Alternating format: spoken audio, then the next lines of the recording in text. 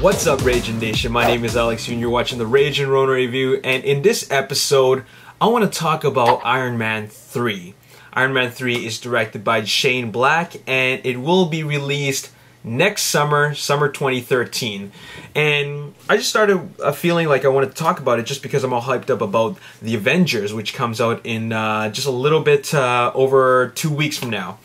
But um, the thing that I want to talk about is um, what are they going to do next in terms of these individual characters because we have Captain America 2 coming out, we have Thor 2 coming out, and of course Iron Man 3.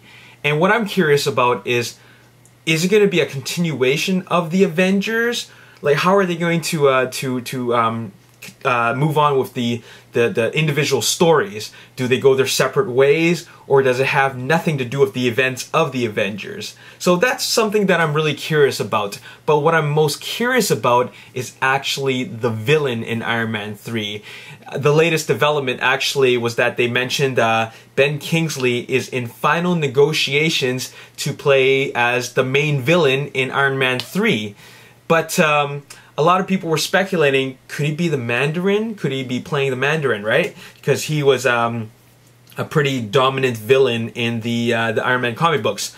Uh, but I think that um, Kevin Feige, I think that's how you pronounce his name, uh, Kevin Feige, the producer of all these Marvel movies, mentioned that he's not playing Mandarin. And, um, well, he's not playing Mandarin. That's what he says. But uh, Ben Kingsley kind of has that look to play Mandarin. He could actually pull it off if uh, they were to have him play Mandarin. But Kevin Feige says he's not, so I guess he's not. However, uh, you know, with all these uh, big fanboy franchises like Transformers and all these Marvel movies, um, they can do this misinformation campaign like Michael Bay did with Transformers just to throw the fans off and to tease us. That could very much happen, and I think that this may or may not be misinformation, but uh, there's some things that still lead or, or at least point my fingers towards having Ben Kingsley being Mandarin. And uh, well, let me let me um, let me tell you about uh, the math that I've been putting together. Recently, they just announced that uh, DMG Entertainment, a, a, a, production company or studio in China, will be co-producing slash co-financing the production of Iron Man 3.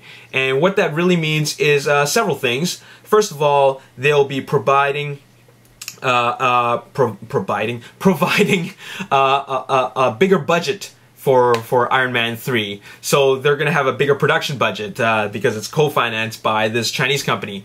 And also, it will have a wider distribution, like international distribution, because uh, China actually makes up a huge market of the box office take. So they're going to obviously make more money. And also, it means that the movie will be shot in China. And I'm just going to take a guess out there and say that the only reason why it is being shot in China is because, um, or rather, the only reason why the movie is being co-produced and co-financed by this Chinese company, DMG Entertainment, is because the the story takes place in China.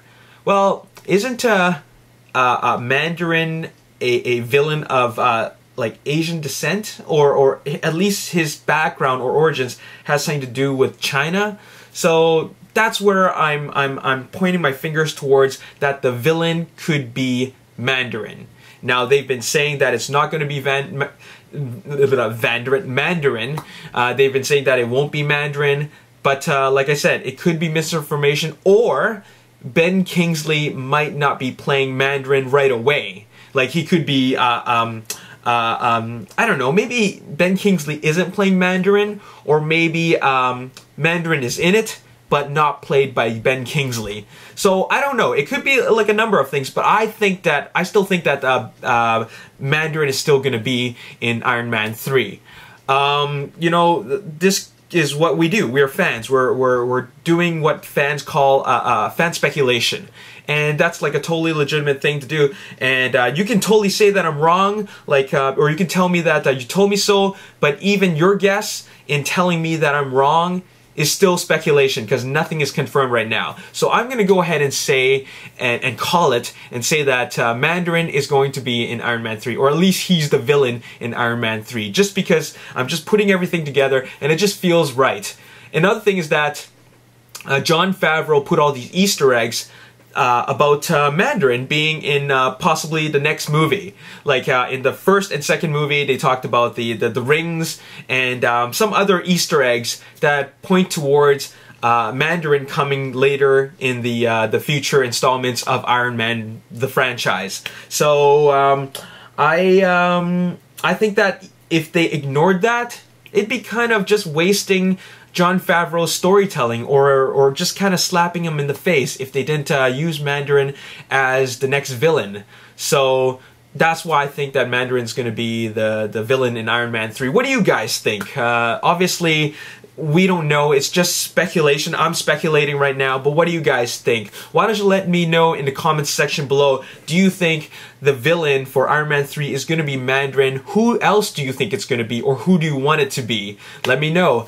Um, I gotta also mention that speaking of China, uh, the movie is actually going to be shot or post converted into 3D. China is apparently huge on 3D, and that is after the success of Avatar. After the success of Avatar, the China even renamed these mountains as like all these mountains in in in um in China they they're renaming the Hallelujah Mountains because they look so much like those mountains in the uh, in, in, the movie. So uh, China is really big on 3D right now. It's all because of Avatar. In fact, uh, Titanic 3D is selling out in China, and therefore they probably said that if you want this movie to be shot in China, we're we wouldn't want you guys to to make it in 3D just because that's what our market likes. So um, it's not going to affect the story, it's just going to affect your ticket price and viewing experience. Um, as long as they can do it right, I'm all for it. And um, another thing I want to talk about is that uh, with Iron Man 3 coming out next year and Avengers coming out this year, it's actually going to make Transformers, um, the fourth installment, come closer. Or at least feel sooner because now we have like Iron Man and then in, in the Avengers and then Iron Man 3 coming next year and then Transformers uh, you know, coming the year after that. So it, has got something for us to look forward to every summer. So that might make us feel that uh, Transformers 4 is actually closer to us than we think. Anyways, uh, I, don't want to go off topic, but what do you guys think about this? Uh, let me know in the comment section below. Who do you think is going to be the villain? Also, just to let you know, Iron Man 3 will be shooting uh, in May in the US this summer, like, or this spring rather, this May, so that's next month, and then it'll be shooting in China in late summer.